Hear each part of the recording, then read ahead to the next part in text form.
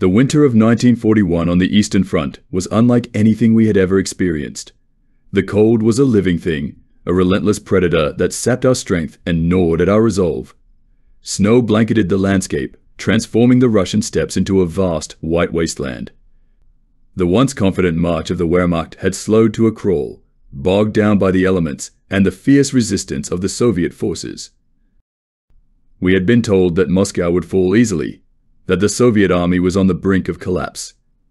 The propaganda painted a picture of a swift and decisive victory, but the reality on the ground was starkly different. As we pushed deeper into Russian territory, the harshness of the campaign became painfully clear. The Russians fought with a ferocity born of desperation, defending their homeland with every ounce of strength they had. Our supply lines were stretched thin, and the bitter cold seemed to seep into our very bones. Each day was a grueling test of endurance. Our vehicles struggled to move through the thick snow, and our equipment malfunctioned in the freezing temperatures. We marched for miles with heavy packs on our backs, our breath visible in the frigid air. The cold was so intense that it felt like a physical force, pressing down on us and making every step a monumental effort. The once lush and green landscapes were now desolate and lifeless, covered in a blanket of snow that seemed to stretch on forever. The bitter cold. The cold was our constant companion, more brutal and unyielding than any enemy we had faced. It froze our fingers and toes, turned our breath into clouds of ice, and made every movement a struggle. Our uniforms, designed for the European climate, offered little protection against the biting wind and sub-zero temperatures. Frostbite was rampant, claiming the digits and limbs of many of my comrades. We huddled together in foxholes and makeshift shelters, seeking warmth in each other's presence. At night, the temperature plummeted even further, and sleep became a distant memory. The nights were long and dark, filled with the sounds of the wind howling through the trees and the distant rumble of artillery fire. We wrapped ourselves in whatever we could find blankets, tarps, even the clothes of fallen soldiers, anything to stave off the merciless cold. Our feet were constantly numb, and every morning was a painful ordeal of trying to warm them up enough to walk. The cold was so intense that it caused our weapons to jam and our vehicles to break down. We were in a constant battle, not only against the enemy, but against the elements. The snow and ice made it even the simplest tasks incredibly difficult. Lighting a fire, digging a trench, or even eating a meal became monumental challenges. The weight of war. The battles were brutal, a relentless grind of attrition. Each day brought new skirmishes, new casualties, and new horrors. The snow turned red with the blood of the fallen, and the once pristine landscape became a graveyard of twisted metal and broken bodies. We fought for every inch of ground, knowing that each step forward was paid for with the lives of our comrades. One night, as we prepared for another assault, I found myself staring at the horizon, lost in thought. The moon cast a pale, eerie light over the snow-covered fields, and for a moment, the world seemed still. I thought of home of the warmth of my family, and the life I had left behind. It felt like a different lifetime, a distant dream that was slipping further and further away. The next morning, we launched our attack. The Russians were waiting, dug in and ready to repel our advance. The air was filled with the deafening roar of gunfire and the thunder of artillery. The ground shook beneath our feet, and the sky was darkened by smoke and the flashes of explosions. We charged forward, driven by a mixture of duty, fear, and the desperate hope that this battle might bring us closer to the end of the war. In the chaos of battle, I saw things that will haunt me for the rest of my days. Friends I had known since training were cut down beside me, their lifeless bodies quickly covered by the falling snow.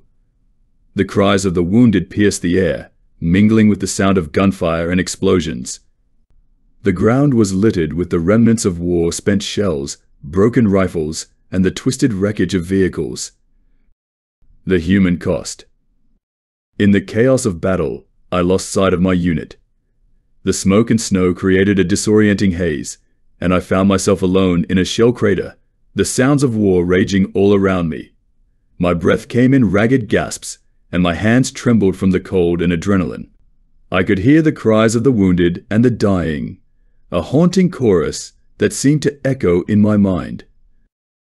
As the battle raged on, I saw a young Russian soldier emerge from the smoke, his face a mask of determination and fear.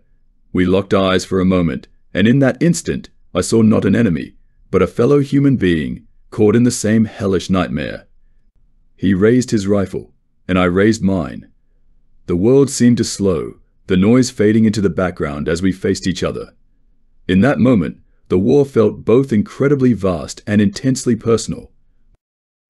A shot rang out, and the Russian soldier fell to the ground. I stood there, frozen in shock and horror, as the reality of what had just happened sank in.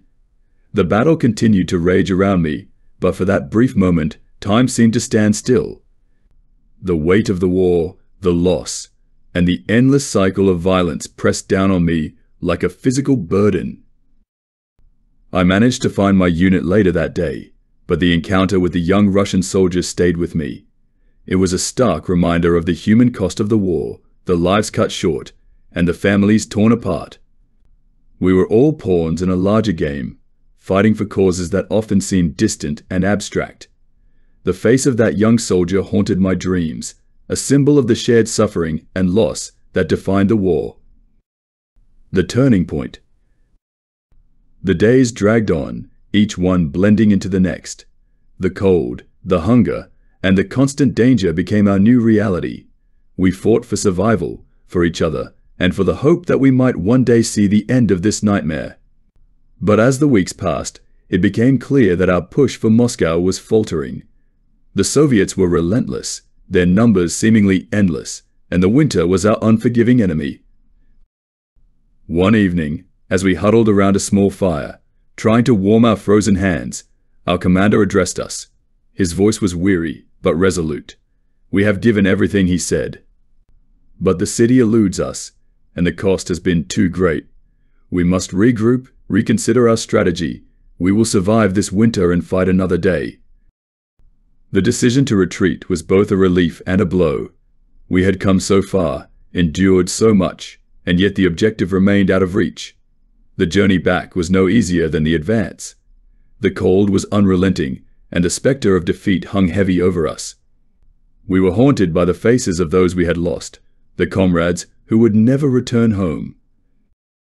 The retreat was a grim affair.